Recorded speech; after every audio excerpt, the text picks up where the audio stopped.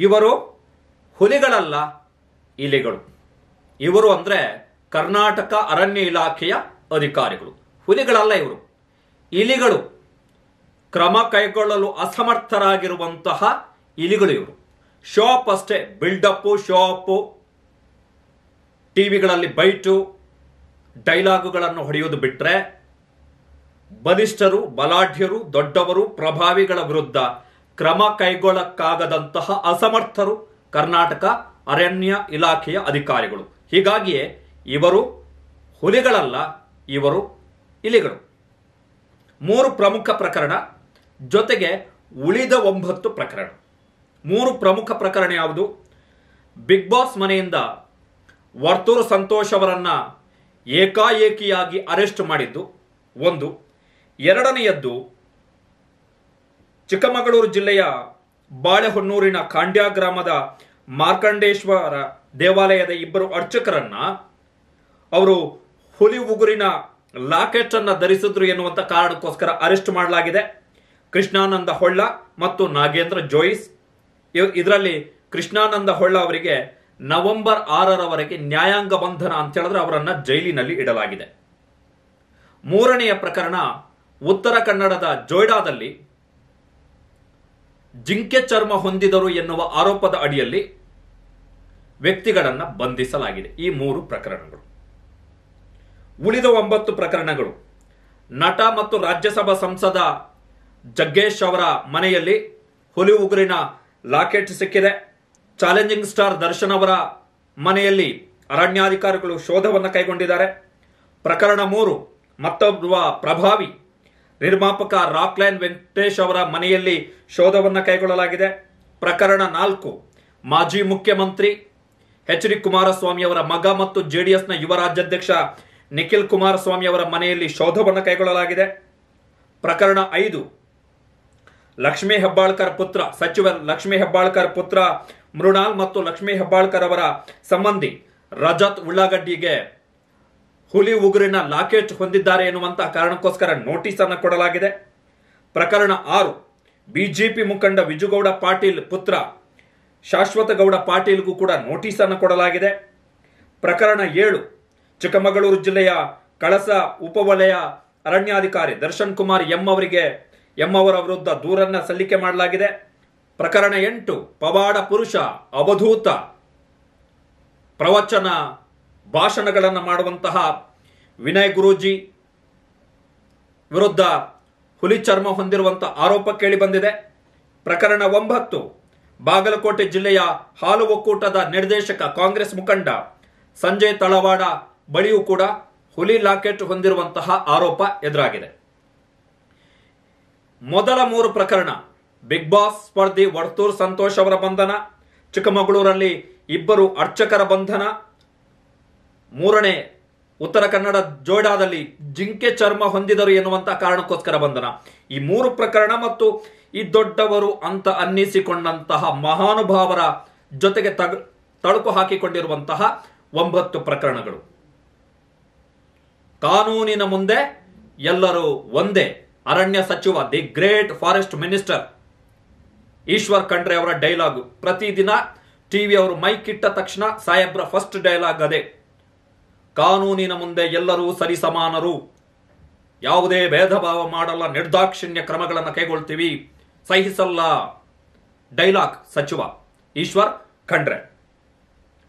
ಮೊದಲ ಮೂರು ಪ್ರಕರಣ ಮತ್ತು ಈ ವಿಶೇಷ ಒಂಬತ್ತು ದೊಡ್ಡವರ ಪ್ರಕರಣಕ್ಕೆ ನೋಡಿ, ದೊಡ್ಡವರ ಪ್ರಕರಣದಲ್ಲಿ ದಾಳಿ ಮತ್ತು ಶೋಧವನ್ನು ಕೈಗೊಳ್ಳಲಾಗಿದೆ ಅಷ್ಟೇ.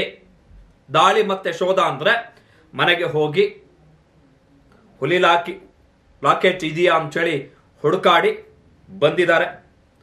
ಪ್ರಕರಣಗಳನ್ನು ದಾಖಲಿಸಿಲ್ಲ. ದೂರುಗಳು ಬಂದ ಬಳಿಕ ಪ್ರಕರಣಗಳನ್ನು ದಾಖಲಿಸಿಲ್ಲ. ಬಂಧನ, the extreme action. Varthur Santhosh ಮತ್ತು ಚಿಕ್ಕಮಗಳೂರಿನಲ್ಲಿ ಇಬ್ಬರು ಅರ್ಚಕರನ್ನ ಅರೆಸ್ಟ್ ಮಾಡಿದ್ರಲ್ಲ, ಹುಲಿ ಉಗುರಿನ ಲಾಕೆಟ್ ಇದೆ ಅನ್ನುವ ಕಾರಣಕ್ಕೋಸ್ಕರ.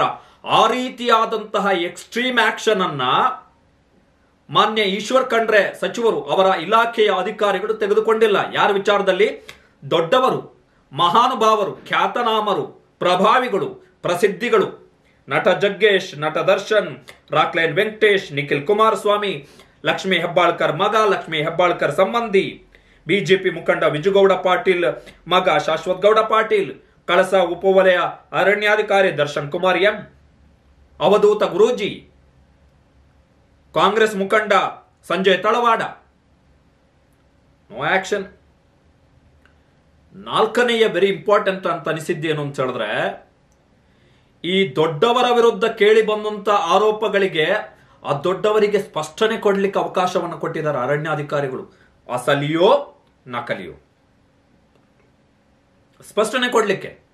ಸರ್, ನನ್ನ ಬಳಿ, ಸರ್, ನನ್ನ ಬಳಿ ಇರುವಂತದ್ದು ಹುಲಿ ಉಗ್ರಿನ ಒರಿಜಿನಲ್ ಅಲ್ಲ ಸಾರ್. ಇದು ಮಾದರಿ ಸಾರ್, ಇದು ಡೂಪ್ಲಿಕೇಟ್ ಸಾರ್, ಇದು ಮಾಡೆಲ್ ಸಾರ್ ಅಂತೇಳಿ ಸ್ಪಷ್ಟನೆಯನ್ನ ಕೊಡ್ಲಿಕ್ಕೆ ಅವಕಾಶವನ್ನ ಕೊಟ್ಟಿದ್ದಾರೆ ಅರಣ್ಯಾಧಿಕಾರಿಗಳು ಈ ಒಂಬತ್ತು ಪ್ರಕರಣಗಳಲ್ಲೂ ಕೂಡ. ಒಂಬತ್ತು ಪ್ರಕರಣಗಳಲ್ಲೂ ಕೂಡ ನೋಟಿಸ್ ಅನ್ನ ಕೊಟ್ಟು ಸ್ಪಷ್ಟನೆಯನ್ನ ಕೊಡ್ಲಿಕ್ಕೆ ಅವಕಾಶವನ್ನ ಕೊಟ್ಟಿದ್ದಾರೆ. ವರ್ತೂರ್ ಸಂತೋಷ್ ಪ್ರಕರಣದಲ್ಲಿ ನಲವತ್ತ ಐದು ನಿಮಿಷದಲ್ಲಿ ಆ ಹುಲಿ ಉಗುರಿನ ಲಾಕೆಟ್ನಲ್ಲಿರುವಂತಹ ಉಗುರು ಒರಿಜಿನಲ್ ಫೇಕೋ ಎನ್ನುವಂಥದ್ದನ್ನು ಕಂಡು ಹಿಡಿದಿದ್ದೀವಿ ಅಂತೇಳಿ ಬೆಂಗಳೂರಿನ ಅರಣ್ಯಾಧಿಕಾರಿ ಹೇಳಿದ್ದಾರೆ. ಉಳಿದ ಪ್ರಕರಣಗಳಲ್ಲಿ ಯಾಕಾಗಿಲ್ಲ ನಲವತ್ತೈದು ನಿಮಿಷದಲ್ಲಿ. ಅದೇ ವಿಜುಗೌಡ ಪಾಟೀಲ್ ಪ್ರಕರಣದಲ್ಲಿ ಹೈದರಾಬಾದಿಗೆ ಕಳಿಸ್ತೀವಿ ಅಂತ ಹೇಳಿದಾರಂತ. ಅದು ಅಲ್ಲಿಂದ ವರದಿ ಬಂದು ಇವರು ಆಕ್ಷನ್ ತಗೊಳ್ಳೋದು. ವರ್ತೂರ್ ಸ, ಕೇವಲ ಅರಣ್ಯಾಧಿಕಾರಿಗಳೇ ಹೇಳಿರುವಂಥದ್ದು. ನಲವತ್ತೈದು ನಿಮಿಷದಲ್ಲಿ ನಮಗಿದು ಗೊತ್ತಾಗಿದೆ. ಅಸಲಿ ಅಂತೇಳಿ. ಉಳಿದ ಪ್ರಕರಣಗಳಲ್ಲಿ ಯಾಕೆ? ಜಗ್ಗೇಶ್ ಅವರೇ ಹೇಳ್ಕೊಂಡಿದ್ದಾರಲ್ಲ ಜಗ್ಗೇಶ್ ಅವರು ಹೈಕೋರ್ಟಿಗೆ ಪಿಟಿಷನ್ ಹಾಕೊಂಡಿದ್ದಾರೆ ನನ್ನ ವಿರುದ್ಧ ಅರಣ್ಯಾಧಿಕಾರಿಗಳು ತೆಗೆದುಕೊಂಡಿರುವಂತಹ ಕ್ರಮವೇ ತಪ್ಪು ಅಂತೇಳಿ ನೋಟಿಸ್ ಅನ್ನು ಕೊಟ್ಟ ಬಳಿಕ ನನಗೆ ಉತ್ತರ ಕೊಡ್ಲಿಕ್ಕೆ ಅವಕಾಶ ಕೊಡಬೇಕಿತ್ತು. ಪ್ರೊಸೀಜರ್ ಅನ್ನ, ಕಾನೂನು ಪ್ರಕ್ರಿಯೆಯನ್ನು ಅರಣ್ಯಾಧಿಕಾರಿಗಳು ಪಾಲನೆ ಮಾಡಿಲ್ಲ. ಅವಕ, ಅವರಿಗೆ ಅವಕಾಶಗಳಿದೆ. ನಾಟ ಜಗ್ಗೇಶ್ ಅವರಿಗೆ. ನಾವು, ನೀವು ಸಾಮಾನ್ಯರು ನಮ್ಮ ವಿರುದ್ಧ ಯಾರಾದರೂ ದೂರು ಕೊಟ್ಟ ತಕ್ಷಣ ನಾವು ಹೋಗಿ ಹೈಕೋರ್ಟಿಗೆ ಪಿಟಿಷನ್ ಹಾಕೊಳ್ಳೋಕ್ಕಾಗಲ್ಲ ನಾವು ಅಷ್ಟು ಬಲಿಷ್ಠರಾಗಿಲ್ಲ. ನಮ್ಮ ಹತ್ರ ಅಷ್ಟೊಂದು ಆರ್ಥಿಕ ಬಲ ಇಲ್ಲ. ಇಟ್ಸ್ ಅ ಫ್ಯಾಕ್ಟ್ ಬಟ್ ನೋಡಿ, ನಿನ್ನೆ ವಾರ್ತೆ ಇಲಾಖೆಯವರು ದೊಡ್ಡದಾಗಿ ಬರೀ ಬಿಲ್ಡಪ್ಗಳು ಬರೀ ಶಾಪ್ ನಿನ್ನೆ ಎರಡು ಪೋಸ್ಟರ್ ಅನ್ನು ಬಿಟ್ಟಿದ್ದಾರೆ. ನೋಡಿ, ಅವರು ವಾರ್ತಾ ಇಲಾಖೆಯಿಂದ ಪೋಸ್ಟರ್ ಬಿಟ್ಟಿರುವಂಥದ್ದು ಅರಣ್ಯ ಇಲಾಖೆ. ಅದಕ್ಕೆ ಸಿದ್ದರಾಮಯ್ಯನವರ ಫೋಟೋ ಬೇರೆ ಹಾಕೊಂಡಿದ್ದಾರೆ ಸೈಡಲ್ಲಿ. ಪ್ರಚಾರ ಆಗಬೇಕಲ್ಲ? ವನ್ಯಜೀವಿಗಳ ಸಂರಕ್ಷಣಾ ಕಾಯ್ದೆಯ ಪ್ರಕಾರ ಸಾವಿರದ ಒಂಬೈನೂರ ಎಪ್ಪತ್ತೆರಡರ ಪ್ರಕಾರ ವನ್ಯಜೀವಿಗಳ ಅಂಗಾಂಗ ಅವಶೇಷಗಳ ಮಾರಾಟ ಮತ್ತು ಬಳಕೆಗೆ ಸಂಪೂರ್ಣ ನಿಷೇಧವಿದೆ. ಯಾವುದೇ ಜೀವಿಯನ್ನು ಜೀವಂತವಾಗಿ ಅಥವಾ ಮೃತಪಟ್ಟ ಬಳಿಕ ಮಾರಾಟ ಮಾಡುವಂತಿಲ್ಲ. ಕಾಡು ಪ್ರಾಣಿಗಳ ಚರ್ಮವನ್ನು ಹದ ಮಾಡಿ ಅಲಂಕಾರಿಕ ವಸ್ತುಗಳನ್ನಾಗಿ ಬಳಸುವಂತಿಲ್ಲ. ವನ್ಯಜೀವಿಗಳ ಮಾಂಸ ಮಾರಾಟ ಮತ್ತು ಭಕ್ಷಣೆ ಸಹ ಅಪರಾಧ. ಹಾವಿನ ವಿಷಯ, ವಿಷವನ್ನೂ ಸಂಗ್ರಹ ಮಾಡುವಂತಿಲ್ಲ. ನವಿಲುಗರಿಗಳನ್ನೂ ಸಂಗ್ರಹಿಸುವಂತಿಲ್ಲ. ವನ್ಯಜೀವಿಗಳ ಕೂದಲು, ಚರ್ಮ, ಉಗುರು, ಗೊರಸು, ಹಲ್ಲು, ಆನೆದಂತ ಸೇರಿದಂತೆ ದೇಹದ ಯಾವುದೇ ಭಾಗವನ್ನು ಸಂಗ್ರಹಿಸುವುದು, ಸಾಗಿಸುವುದು, ಮಾರಾಟ ಮಾಡುವುದು ಮತ್ತು ಬಳಕೆ ಮಾಡುವುದು ಶಿಕ್ಷಾರ್ಹ ಅಪರಾಧವಾಗಿದೆ ಅಂತೇಳಿ ಅರಣ್ಯ ಇಲಾಖೆಯಿಂದ ನಿನ್ನೆ ಸೋಷಿಯಲ್ ಮೀಡಿಯಾದಲ್ಲಿ ಪೋಸ್ಟರ್ ಬಿಟ್ಟಿದ್ದಾರೆ, ಪ್ರಚಾರದ ಪೋಸ್ಟರ್. ಇನ್ನೊಂದು ಪೋಸ್ಟರ್ ಬಿಟ್ಟಿದ್ದಾರೆ. ಇನ್ನೊಂದು ಪೋಸ್ಟರ್ ಬಿಟ್ಟಿದ್ದಾರೆ. ಏನು ಅಂತ ಹೇಳಿದ್ರೆ, ವನ್ಯಜೀವಿ ವಸ್ತುಗಳ ಸಂಗ್ರಹ, ಮಾರಾಟದ ವಿರುದ್ಧ ಇನ್ನಷ್ಟು ಕಠಿಣ ಕ್ರಮಗಳನ್ನು ರೂಪಿಸಲು ವನ್ಯಜೀವಿ ವಿಭಾಗದ ಹೆಚ್ಚುವರಿ ಪ್ರಧಾನ ಕಾರ, ಪ್ರಧಾನ ಮುಖ್ಯ ಅರಣ್ಯ ಸಂರಕ್ಷಣಾಧಿಕಾರಿ ಅವರ ಅಧ್ಯಕ್ಷತೆಯಲ್ಲಿ ಸಮಿತಿಯನ್ನು ರಚಿಸಲಾಗಿದೆ. ಸಮಿತಿಯಲ್ಲಿ ಬೆಂಗಳೂರು, ಹಾಸನ, ಚಿಕ್ಕಮಗಳೂರು ವೃತ್ತದ ಮುಖ್ಯ ಅರಣ್ಯ ಸಂರಕ್ಷಣಾಧಿಕಾರಿಗಳು ಬೆಂಗಳೂರು ನಗರ, ಕೊಪ್ಪ, ಶಿವಮೊಗ್ಗ ಉಪ ಅರಣ್ಯ ಸಂರಕ್ಷಣಾಧಿಕಾರಿಗಳು ಸದಸ್ಯರಾಗಿರ್ತಾರೆ ಅಂತೇಳಿ ಪೋಸ್ಟರ್ ಅನ್ನ ಬಿಟ್ಟಿದ್ದಾರೆ ವಾರ್ತಾ ಇಲಾಖೆಯಿಂದ. ಕಠಿಣ ಕ್ರಮ ಅಂತ ಹೇಳಿದ್ರೆ ಮತ್ತೆ ಈ ಒಂಬತ್ತು ಮಂದಿ ವಿರುದ್ಧ ಯಾಕೆ ಕಠಿಣ ಕ್ರಮಗಳಾಗಿಲ್ಲ? ಯಾಕೆ ವರ್ತೂರ್ ಸಂತೋಷ್, ಯಾಕೆ ಚಿಕ್ಕಮಗಳೂರಿನ ಇಬ್ಬರು ಅರ್ಚಕರನ್ನ ಮಾತ್ರ ಅರೆಸ್ಟ್ ಮಾಡಲಾಯಿತು? ಬಿಲ್ಡಪ್ ಹುಲಿಗಳಲ್ಲ ಇವರು, ಇಲಿಗಳು ದೊಡ್ಡವರ ಮುಂದೆ ಈ ಅರಣ್ಯಾಧಿಕಾರಿಗಳು, ಇವರು ಇಲಿಗಳು, ಅಸಮರ್ಥರು. ಅಸಮರ್ಥರು. ಬರೀ ಬಿಲ್ಡಪ್ ಬಿಲ್ಡಪ್ ಬಿಲ್ಡಪ್ ಟಿವಿಗಳಲ್ಲಿ ಬರಬೇಕು, ಪ್ರಸಿದ್ಧಿ ಆಗಬೇಕು. ಓ, ಇಂಥ ವರ್ತೂರು ಸಂತೋಷನ ಅರೆಸ್ಟ್ ಮಾಡಿದ ಬೆನ್ನಲ್ಲೇ ಅರಣ್ಯಾಧಿಕಾರಿಗಳು ಏನು ದೊಡ್ಡ ಮಹಾ ಸಾಧನೆಯನ್ನ ಮಾಡಿದ ಪುಣ್ಯಾತ್ಮರ ತರ ಅನ್ಕೊಬಿಟ್ಟಿದ್ದಾರೆ ಅವ್ರನ್ನ. ಈ ಒಂಬತ್ತು ಪ್ರಕರಣಗಳಲ್ಲಿ ಪ್ರಕರಣಗಳು ದಾಖಲಾಗಿಲ್ಲ. ನೋಟಿಸ್ ಇಶ್ಯೂ ಮಾಡಿ ಕ್ಲಾರಿಫಿಕೇಶನ್ ಕೇಳ್ತಾ ಇದ್ದಾರೆ ಅವರು ಕ್ಲಾರಿಫಿಕೇಶನ್ ಆ ಕ್ಲಾರಿಫಿಕೇಶನ್ ಅನ್ನ ವರ್ತೂರು ಸಂತೋಷ್ ಬಳಿ ಕೇಳ್ಬೋದಿತ್ತಲ್ಲ? ಆ ಕ್ಲಾರಿಫಿಕೇಶನ್ ಅನ್ನ ಚಿಕ್ಕಮಗಳೂರಿನ ಇಬ್ಬರು ಅರ್ಚಕರ ಬಳಿ ಕೇಳ್ಬೋದಿತ್ತಲ್ಲ? ಕಾನೂನು ಪ್ರಕಾರ ತಗೋಬೋದಿತ್ತಲ್ಲ? ಯಾಕೆ ಅರೆಸ್ಟ್ ಮಾಡಿದ್ರಿ? ಯಾಕಂತ ಹೇಳಿದ್ರೆ build-up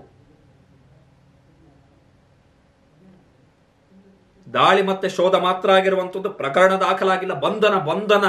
Is extreme action legally extreme action ಬಂಧನ ತನಿಖೆಯನ್ನು ನಡೆಸುತ್ತಿರುವಂತಹ ಅಧಿಕಾರಿಯ ವಿವೇಚನಾಧಿಕಾರ ಅದು. ಅಂದ್ರೆ ವರ್ತೂರು ಸಂತೋಷನ ಬಂಧಿಸಿದ ಅಧಿಕಾರಿ. ನನಗೆ ಅನಿಸಿದ್ದೇನು ಅಂತ ಹೇಳಿದ್ರೆ, ಒಂದ, ಈ ಹುಲಿ ಉಗುರಿಗೆ ಸಂಬಂಧಪಟ್ಟ ಹಾಗೆ ಯಾರ ವಿರುದ್ಧ ದೂರುಗಳು ಕೇಳಿ ಬಂದಿದೆಯೋ ಅವರೆಲ್ಲರ ವಿರುದ್ಧ ಎಫ್ಐಆರ್ ದಾಖಲಾಗಿ ದೇ ಶುಡ್ ಬಿ ಅರೆಸ್ಟೆಡ್. ಅದಾದ ಮೇಲೆ ನೀವು ಅವರಿಂದ ಕ್ಲಾರಿಫಿಕೇಶನ್ ತಗೊಳ್ಳಿ. They should be arrested. All ಯಾರ ವಿರುದ್ಧ ದೂರುಗಳು ಕೇಳಿ ಬಂದು ಪ್ರಕರಣಗಳು ದಾಖಲಾಗಬೇಕು. ದಾಖಲಾಗಿ ಅವರೆಲ್ಲರೂ ಕೂಡ ಅರೆಸ್ಟ್ ಆಗಬೇಕು. ಇಲ್ಲದೆ ಹೋದ್ರೆ ವರ್ತೂರು ಸಂತೋಷ್ ಮತ್ತೆ ಚಿಕ್ಕಮಗಳೂರಿನಲ್ಲಿ ಇಬ್ಬರು ಅರ್ಚಕರನ್ನು ಅರೆಸ್ಟ್ ಮಾಡೋದ್ರಲ್ಲ ಅರಣ್ಯಾಧಿಕಾರಿಗಳು. ಆ ಅರಣ್ಯಾಧಿಕಾರಿಗಳು they should be suspended. They should be suspended ಯಾಕೆ ಅಂತ ಹೇಳಿದ್ರೆ, ಈ ಮೂವ, ಈ ಒಂಬತ್ತು ಮಂದಿ ಏನು ಅತೀತ್ರ ಏನಲ್ಲ they are just citizens like others ಉಳಿದ ನಾಗರಿಕರು, ಉಳಿದ ಪ್ರಜೆಗಳ ರೀತಿಯಲ್ಲೇ ಇವರು ಕೂಡ ಪ್ರಜೆಗಳಷ್ಟೇ, ಇವರೇನು ಅತೀತ್ರ ಏನಲ್ಲ. ನಟ ಜಗ್ಗೇಶ್ ಆಗಿರ್ಬೋದು, ರಾಕ್ಲೇನ್ ವೆಂಕಟೇಶ್ ಆಗಿರ್ಬೋದು, ದರ್ಶನ್ ಆಗಿರ್ಬೋದು, ಅವಧೂತ ಗುರೂಜಿ ಆಗಿರ್ಬೋದು, ಲಕ್ಷ್ಮೀ ಹೆಬ್ಬಾಳ್ಕರ್ ಮಗ ಆಗಿರ್ಬೋದು, ಅವರ ಸಂಬಂಧಿ ಆಗಿರ್ಬೋದು ಕಾಂಗ್ರೆಸ್ ಮುಖಂಡರಾಗಿರ್ಬೋದು, ಬಿಜೆಪಿಯ ಮುಖಂಡರಾಗಿರ್ಬೋದು, ಇವರು ಅತೀತರಲ್ಲ. ಇವರು ಆಕಾಶದಿಂದ ದರಗೆ ಇಳಿದವರಲ್ಲ. ಹಾಗಾಗಿ ಹೇಳ್ತಾ ಇರುವಂತದ್ದು ವರ್ತೂರ್ ಸಂತೋಷ್ ಅವರನ್ನ ಅರೆಸ್ಟ್ ಮಾಡಬೇಕು ಎನ್ನುವಂತಹ ನಿರ್ಧಾರವನ್ನ ತೆಗೆದುಕೊಂಡಂತ ಆ ಅರಣ್ಯಾಧಿಕಾರಿಯನ್ನ should be suspended for high handling ಕೇಸನ್ನ high handle ಮಾಡಿದ್ದಕ್ಕೋಸ್ಕರ ಸಸ್ಪೆಂಡ್ ಮಾಡಬೇಕು. ಇಲ್ಲದೆ ಹೋದ್ರೆ ಸೇಮ್ ಆಕ್ಷನ್ ಅನ್ನ ಎಫ್ ಐ ಆರ್ ಹಾಕಿ ಈ ಒಂಬತ್ತು ಮಂದಿಯ ವಿರುದ್ಧವೂ ಅನುಸರಿಸಬೇಕು. ಇಲ್ಲದೆ ಇದ್ರೆ ನಾವು ತಾಕತ್ತಿಳಿದವರು ಅಂತೇಳಿ ಅರಣ್ಯಾಧಿಕಾರಿಗಳು ಅವರ ಕಚೇರಿಯ ಮುಂದೆ, ಅವರ ಡೆಸ್ಕಿನ ಮುಂದೆ, ಅವರ ಕುರ್ಚಿಯ ಮುಂದೆ ಒಂದು ಬೋರ್ಡ್ ಹಾಕೊಂಡು ಕೂತ್ಕೊಳ್ಳಿ. ಯಾವನು ಕೇಳಕ್ ಬರಲ್ಲ. ಅದ್ರ ಜೊತೆಗೆ ಸಿದ್ದರಾಮಯ್ಯ ಸರ್ಕಾರದ ಬಿಲ್ಡಪ್ಗಳು ಬೇರೆ, ವಾರ್ತಾ ಇಲಾಖೆಯಿಂದ ಕಠಿಣ ಕ್ರಮಗಳನ್ನು ಕೈಗೊಳ್ಳಲ್ಲ. ಇರೋ ಕೇಸನ್ನೇ ಹ್ಯಾಂಡಲ್ ಮಾಡಕ್ ತಾಕತ್ತಿಲ್ಲದವು. ಇನ್ ಯಾರ ವಿರುದ್ಧ ಕಠಿಣ? ಕಠಿಣ ಕ್ರಮ ಯಾರ ವಿರುದ್ಧ?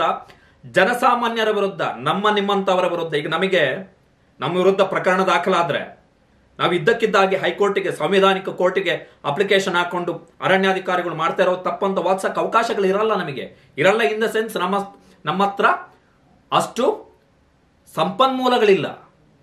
ಸಂಪನ್ಮೂಲಗಳಿಲ್ಲ. ನಮಗೆ ಅಂತ ಅವಕಾಶವೂ ಸಿಗಲ್ಲ. ಅರೆಸ್ಟ್ ಮಾಡಿ ಎತ್ತಾಕೊಂಡು ಹೋಗ್ತಾರೆ. ಜಗ್ಗೇಶ್ ಈ ಹಿಮ್ಸೆಲ್ಫ್ ಡಿಕ್ಲೇರ್ಡ್ ಅದು ಹೌದು ಅಂತ ಹೇಳಿದ ಮೇಲೆ ಎಫ್ ಐ ಆರ್ ಆಗ್ಬೇಕಿತ್ತು ತಾನೆ? ಇದು ಕತೆ ಇವ್ರದ್ದು. ಬಿಲ್ಡಪ್ ಶೋ ಅಪ್ ಟಿವಿಗಳಲ್ಲಿ ಪ್ರಚಾರ ಬರಬೇಕು ಎನ್ನುವಂತಹ ತೆವಳೆ ವರ್ತೂರು ಸಂತೋಷ್ ಅವರ ಅರೆಸ್ಟ್ಗೆ ಮೂಲ ಕಾರಣ ಅದು.